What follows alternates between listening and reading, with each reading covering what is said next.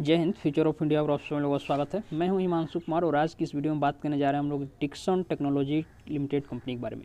देखिए डिक्सन का नाम आपने काफ़ी बार सुना होगा। बेसिकली ये कंपनी काम क्या करती है इसके बारे में मैं आपको बताऊँगा। लेकिन उसके पहले एक नज़र डालते हैं कि ये कंपनी इन दिनों चर्चा का विषय क्यों बना हुआ है। चर्चा में इसलिए है क्योंकि इसके शेयर प्राइस में इन दिनों लगातार भारी गिरावट देखने को मिली है। पिछले दस दिनों में बात करें तो पिछले दस दिनों में स्टॉक तकरीबन एक हज़ार रुपये से ज़्यादा का प्राइस इसमें टूट चुका है, यानी कि इसके शेयर प्राइस में तकरीबन एक हज़ार से ज़्यादा गिरावट पिछले दस दिनों में देखने को मिली है। यदि यहाँ पर आप देखेंगे इस कंपनी के पिछले सिक्स मंथ में तो सिक्स मंथ में तीस परसेंट के आसपास स्टॉक टूटा है। और पिछले एक मंथ में देखें तो एक मंथ में भी तकरीबन तैंतीस परसेंट के आसपास स्टॉक टूटा है। यानी कि पिछले सिक्स मंथ में जितना स्टॉक टूटा था, उससे ज़्यादा तो सिर्फ़ एक मंथ में यह स्टॉक टूट चुका है। टूटने के पीछे की क्या वजह है, इसके बारे में भी बात करेंगे। यहाँ पर आप देख सकते हैं कितना, यहाँ तक तो धीरे धीरे टूट रहा था, लेकिन ये इस पर्टिकुलर डेट के बाद देखेंगे प्राइस एकदम तेज़ी से नीचे की तरफ़ आया है। वहीं यदि पिछले एक सप्ताह में बात करें तो एक सप्ताह में तकरीबन चौबीस परसेंट के आसपास ये स्टॉक टूटा है। तो आप देख रहे हैं कि जैसे जैसे समय नज़दीक आ रहा है, इस स्टॉक के टूटने की जो प्राइस नीचे आ रहा है उसकी रफ्तार काफ़ी तेज़ होती जा रही है। एक दिन में बात करें तो एक दिन में, यानी कि आज के दिन देख सकते हैं, तकरीबन ये स्टॉक साढ़े चार परसेंट के आसपास टूटा है। कह सकते हैं कि ये स्टॉक पाँच परसेंट पाँच पाँच परसेंट के तकरीबन लोअर सर्किट के हिसाब से ये स्टॉक नीचे की तरफ़ आ रहा है। एक दिन में प्राइस के हिसाब से देखेंगे आप तो आज प्राइस के हिसाब से देखें तो तकरीबन एक सौ बीस रुपये की गिरावट अभी तक जब मार्केट खुला है तो इस स्टॉक में देखने को मिली है। अब इसके बारे में बात करेंगे।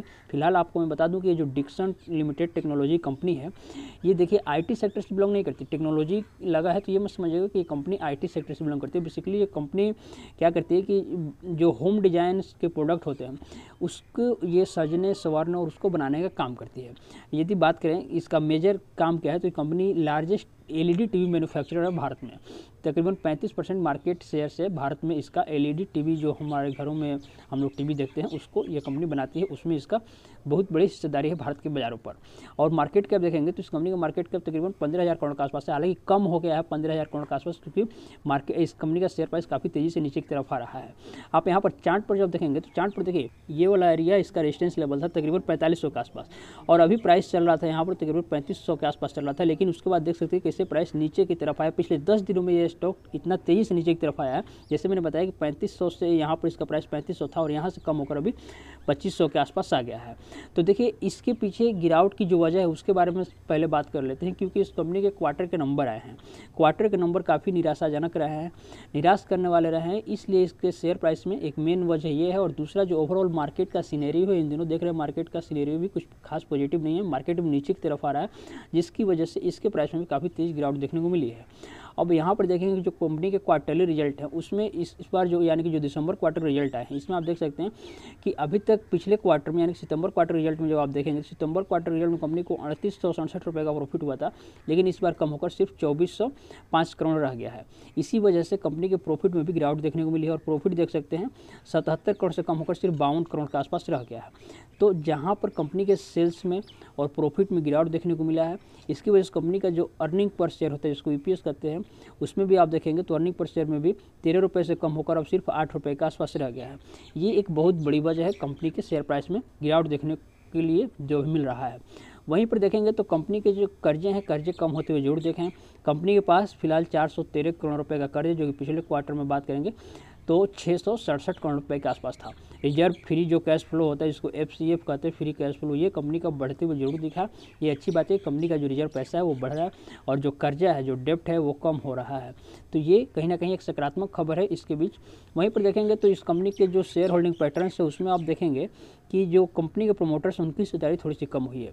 पहले क्वार्टर में कंपनी के चौंतीस पॉइंट दो सात परसेंट के आसपास प्रोमोटर की हिस्सेदारी थी, वहीं पर अभी देखेंगे तो चौंतीस पॉइंट ज़ीरो छः परसेंट के आसपास रह गई है, यानी थोड़ा सा कम हुआ है, लेकिन जो एफ़ आई आई की हिस्सेदारी इनकी हिस्सेदारी बढ़ी है। पिछले क्वार्टर में देखेंगे तो six point sixteen point two seven percent था, जो भी बढ़कर sixteen point six six percent के आसपास हो गया है। ये अच्छी बात है, वहीं पर थोड़ी बहुत जो डी आई आई होते हैं, उनकी हिस्सेदारी भी ज़रूर बढ़ी है, और बाकी ओवरऑल पब्लिक हिस्सेदारी तो इस स्टॉक में है ही। कुल जमा बात यह है कि देखिए, ये जो डिक्सन टेक्नोलॉजी लिमिटेड कंपनी है, ये लंबी रेस का घोड़ा है। कहीं ना कहीं ये प्राइस नीचे आ रहा है तो कहीं ना कहीं ये अपॉर्चुनिटी भी दे रहा है आपको कि निचली स्तर पर बाई कीजिए और लॉन्ग टर्म के लिए इसको बाई करके चलिए तो आने वाले समय में डिक्सन टेक्नोलॉजी में आपको एक बहुत बड़ा मुनाफा होते हुए दिख सकता है।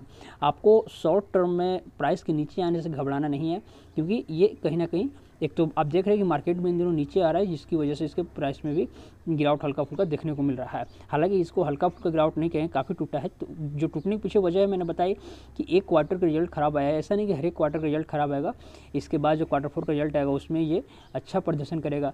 नहीं करेगा तो उसके अगले क्वार्टर में अच्छा प्रदर्शन करेगा। तो जैसे जैसे कंपनी अच्छे प्रदर्शन करेगी रिज़ल्ट में सुधार होगा और प्राइस ऊपर की तरफ़ जाएगा तो आने वाले समय में डिक्शन टेक्नोलॉजी में आपको अच्छा फ़ायदा हो सकता है। बाकी यदि आपके मन में कोई कन्फ्यूज़न है, सवाल है तो उस कमेंट में ज़रूर पूछिएगा, मैं उसको रिप्लाई दूँगा। मिलते हैं अगली वीडियो में तब तक के लिए धन्यवाद शुक्रिया।